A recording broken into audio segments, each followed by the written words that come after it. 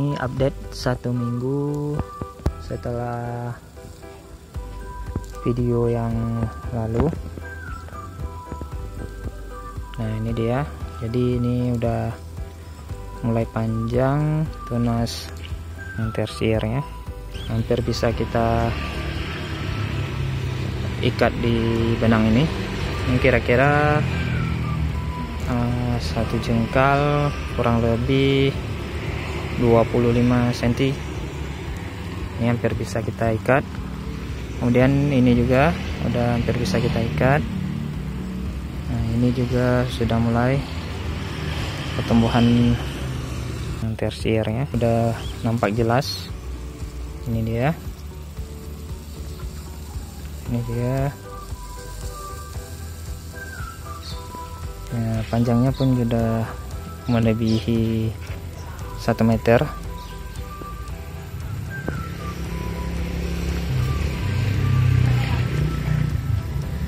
Nah jadi teman-teman harus benar-benar melakukan pembentukan cabang tersiernya ini dari awal agar nanti ketika kita ingin membentuk uh, pemangkasan dia bisa besar secara merata.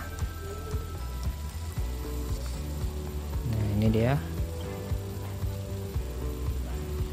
Nah nanti jika ada terjadi hal seperti ini nah ini versi masih agak kecil dan pendek ketimbang daripada yang ini. Nah nanti ketika ini udah sampai sekitar 30 atau 40 cm kita akan melakukan break pada bagian ujung. Nah pada bagian ini ini akan kita break supaya nutrisinya itu bisa dialirkan untuk versi yang masih kecil dan pendek ini. Nah agar nanti pertumbuhannya bisa merata. Jadi batang ininya sama-sama besar semuanya ini secara alami yang saya lakukan tanpa harus memberikan obat-obatan ataupun bahan-bahan lain.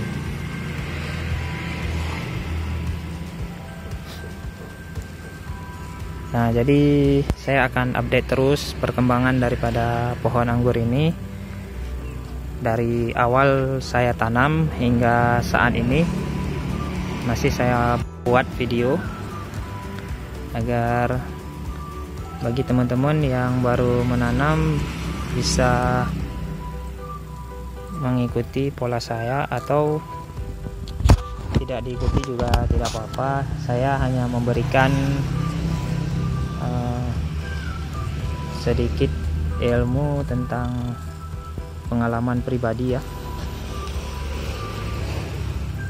Nah, ini cara saya untuk membesarkan batang jadi di sini teman-teman bisa melihat sendiri bahwa batang anggurnya itu besarnya secara merata.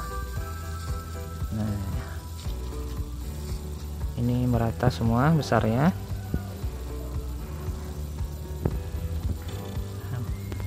Dia masih besar merata.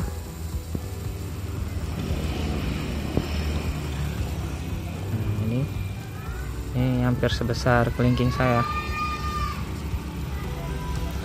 masih juga besar merata semua besarnya.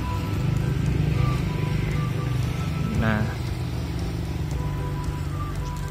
Jadi bagaimana saya memperlakukan batang anggur ini agar besar? Teman-teman bisa lihat di video saya yang lalu.